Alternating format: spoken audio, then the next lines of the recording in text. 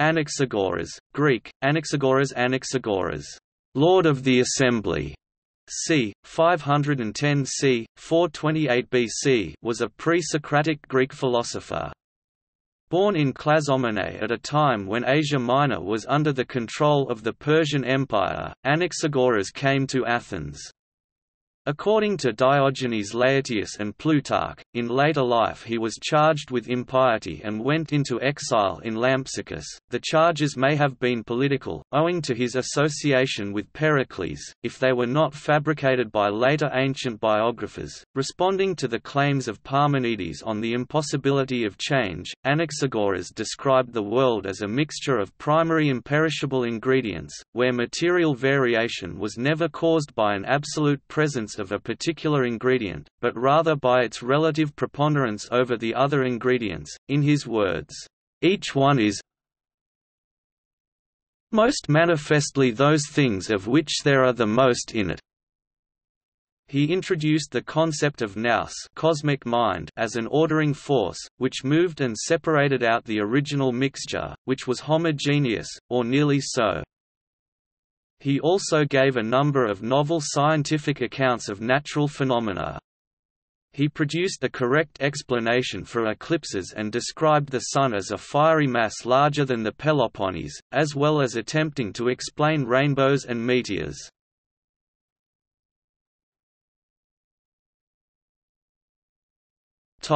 Biography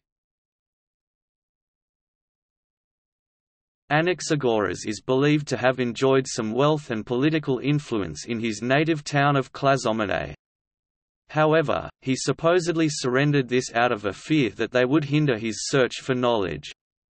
The Roman author Valerius Maximus preserves a different tradition. Anaxagoras, coming home from a long voyage, found his property in ruin, and said, If this had not perished, I would have a sentence described by Valerius as being possessed of sought-after wisdom. Anaxagoras was a Greek citizen of the Persian Empire and had served in the Persian army. He may have been a member of the Persian regiments that entered mainland Greece during the Greco-Persian Wars. Though this remains uncertain, it would certainly explain why he came to Athens in the year of Salamis, 480 79 BC. Anaxagoras is said to have remained in Athens for thirty years. Pericles learned to love and admire him, and the poet Euripides derived from him an enthusiasm for science and humanity. Anaxagoras brought philosophy and the spirit of scientific inquiry from Ionia to Athens. His observations of the celestial bodies and the fall of meteorites led him to form new theories of the universal order, and to a putative prediction of the impact of a meteorite in 467. He attempted to give a scientific account of eclipses, meteors, rainbows, and the Sun, which he described as a mass of blazing metal, larger than the Peloponnese. The heavenly bodies, he asserted, were masses of stone torn from the earth and ignited by rapid rotation. He was the first to give a correct explanation of eclipses, and was both famous and notorious for his scientific theories, including the claims that the Sun is a mass of red-hot metal, that the Moon is earthy, and that the stars are fiery stones. He thought the Earth was flat and floated supported by strong air under it and disturbances in this air sometimes caused earthquakes. These speculations made him vulnerable in Athens to a charge of impiety. Diogenes Laertius reports the story that he was prosecuted by Cleon for impiety, but Plutarch says that Pericles sent his former tutor, Anaxagoras, to Lampsacus for his own safety after the Athenians began to blame him for the Peloponnesian War. According to Laertius, Pericles spoke in defense of Anaxagoras at his trial, c. 450. Even so, Anaxagoras was forced to retire from Athens to Lampsacus in Troad c. 434–433. He died there in around the year 428. Citizens of Lampsacus erected an altar to mind and truth in his memory, and observed the anniversary of his death for many years. Anaxagoras wrote a book of philosophy, but only fragments of the first part of this have survived, through preservation in work of Simplicius of Cilicia in the 6th century AD.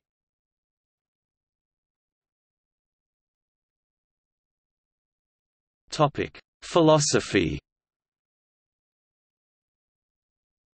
According to Anaxagoras all things have existed in some way from the beginning, but originally they existed in infinitesimally small fragments of themselves, endless in number and inextricably combined throughout the universe.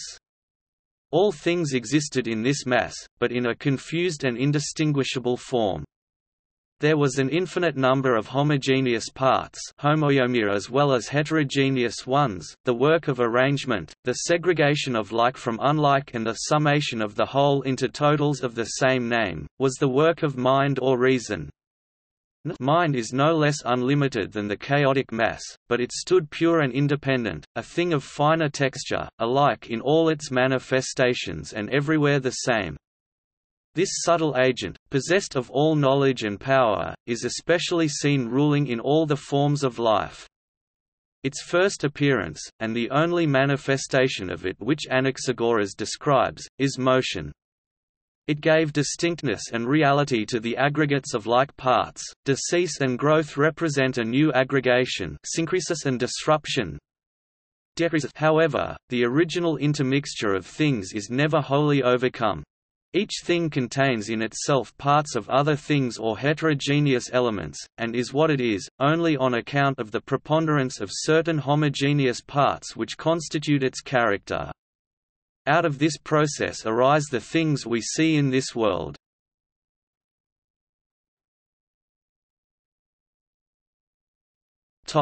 Literary references Anaxagoras is mentioned by Socrates during his trial in Plato's Apology. In the Phaedo, Plato portrays Socrates saying of Anaxagoras that as a young man, I eagerly acquired his books and read them as quickly as I could. In a quote chosen to begin Nathanael West's first book, The Dream Life of Balso Snell, Marcel Proust's character Bergotte says, after all, my dear fellow, life, Anaxagoras has said, is a journey. Anaxagoras appears as a character in Faust, Part 2 by Johann Wolfgang von Goethe. Anaxagoras appears as a character in the Ionia Sanction, by Gary Corby. Anaxagoras is referred to and admired by Cyrus Spitama, the hero and narrator of Creation, by Gore Vidal. The book contains this passage, explaining how Anaxagoras became influential. According to Anaxagoras one of the largest things is a hot stone that we call the sun.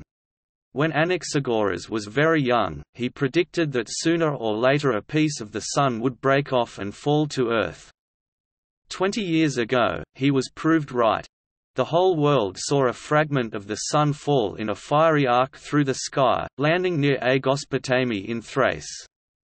When the fiery fragment cooled, it proved to be nothing more than a chunk of brown rock. Overnight Anaxagoras was famous.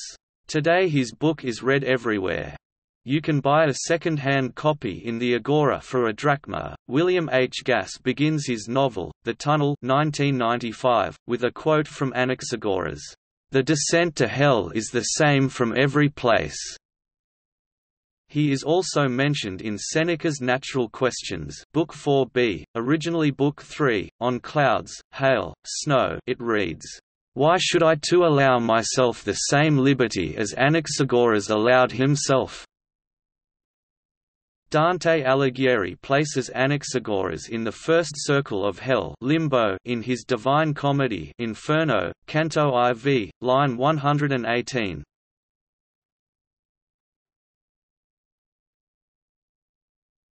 Topic. See also Anaxagoras crater on the Moon Squaring the circle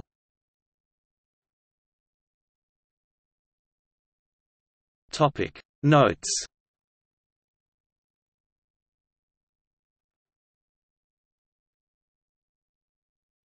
Topic Bibliography Copleston, Frederick Charles 2003. IX, The Advance of Anaxagoras. A History of Philosophy, Volume 1 Greece and Rome reprint. Continuum, ISBN 978-0826468956.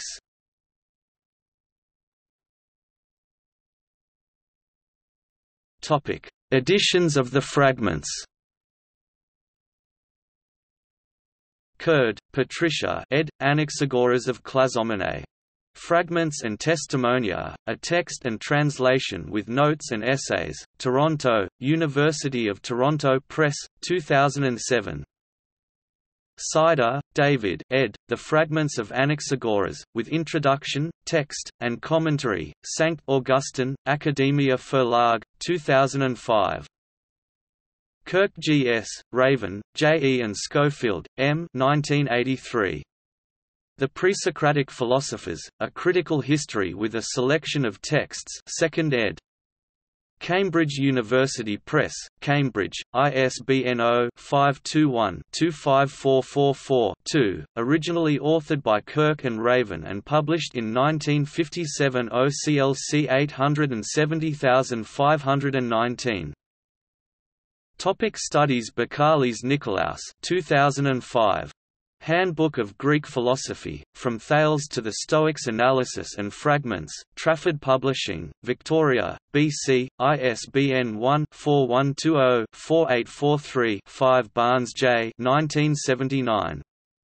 The Pre-Socratic Philosophers, Routledge, London, ISBN 0-7100-8860-4, and editions of 1982, 1996 and 2006 Burnet J. 1892.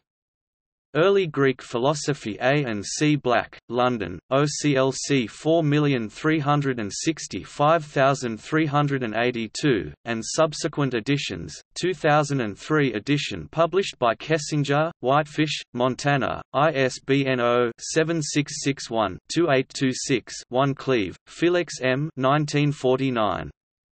The Philosophy of Anaxagoras, An Attempt at Reconstruction King's Crown Press, New York OCLC 2692674, republished in 1973 by Nijhoff, The Hague, as The Philosophy of Anaxagoras, as reconstructed ISBN 90-247-1573-3 Davison, J. A. 1953. Protagoras, Democritus, and Anaxagoras. Classical Quarterly. 3 ends, 33–45. DOI 10.1017 per seconds 0009838800002585. Filonik, Jacob, 2013. Athenian Impiety Trials, a Reappraisal. Dike, Rivista di Storia del Diritto Greco ed Ellenistico 16. DOI 10 1313128 to 8221 4290 Gershenson, Daniel E. and Greenberg, Daniel A. 1964 Anaxagoras and the Birth of Physics, Blaisdell Publishing Co., New York, OCLC 899834 Graham, Daniel West 1999. Empedocles and Anaxagoras, Responses to Parmenides Chapter 8 of Long, A.A. 1999 The Cambridge Companion to Early Greek Philosophy Cambridge University Press, Cambridge, pp. 159–180, ISBN 0-521-44667-8 Guthrie, W.K.C. 1965. The Pre-Socratic Tradition from Parmenides to Democritus Volume 2 of A History of Greek Philosophy Cambridge University Press, Cambridge OCLC 4679552, 1978 edition ISBN 0-521-29421-5 Guthrie, W.K.C. 1962. A History of Greek Philosophy. 2. Cambridge, Cambridge University Press. Luctor, James 2011. Early Greek Thought, Before the Dawn. London, Bloomsbury Publishing. ISBN 978-0567353313. Mansfeld, J. 1980.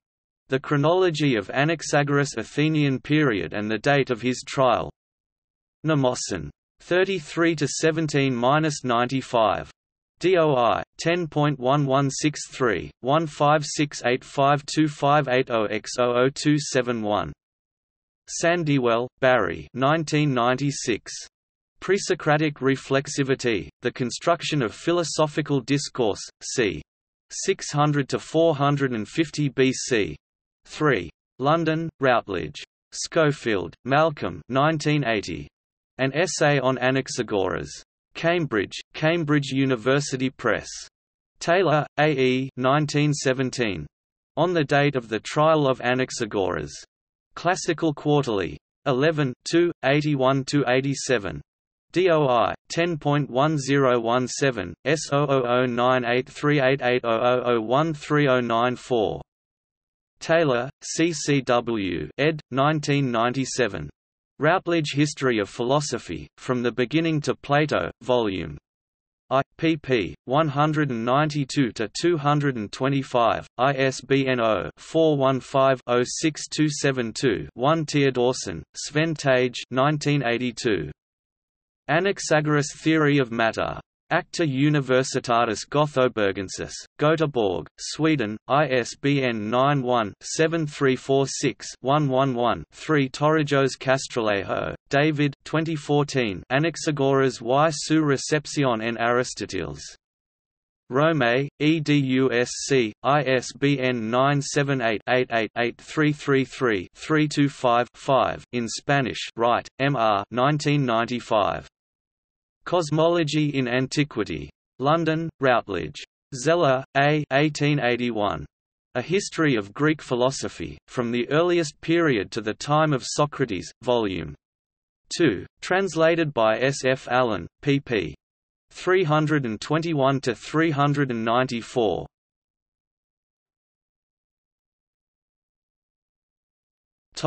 External links Curd, Patricia. Anaxagoras. In Zalta, Edward N. Stanford Encyclopedia of Philosophy.